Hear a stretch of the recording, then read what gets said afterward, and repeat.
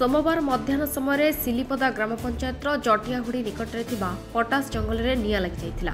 ନିଆଁର ପ୍ରକୋପ ଏତେ ଭୟଙ୍କର ଥିଲା ଯାହାକି ପାଖରେ ଥିବା ଘରକୁ ମଧ୍ୟ ବ୍ୟାପିବାର ସମ୍ଭାବନା ଥିଲା। ଏଣୁ ଲୋକମାନେ ଭୟଭୀତ ହୋଇ ସାହାରପଡ଼ା ଅଗ୍ନିଶମ ବିଭାଗକୁ ଖବର ଜଣାଇଥିଲେ। ହେଲେ ରାସ୍ତା ନଥିବାରୁ ଅଗ୍ନିଶମ ଗାଡ଼ି ଅଧା ରାସ୍ତାରେ ଅଟକି ଯାଇଥିଲା। କିନ୍ତୁ ଜଟିଆହୁଡ଼ିର ଲୋକମାନେ ଅଗ୍ନିଶମ କର୍ମଚାରୀମାନଙ୍କ ସହିତ ମିଶି ନିଆଁକୁ ଲିଭାଇଥିଲେ କେନ୍ଦୁଝରରୁ Anjan ରଣାଙ୍କ report Odisha voice twenty four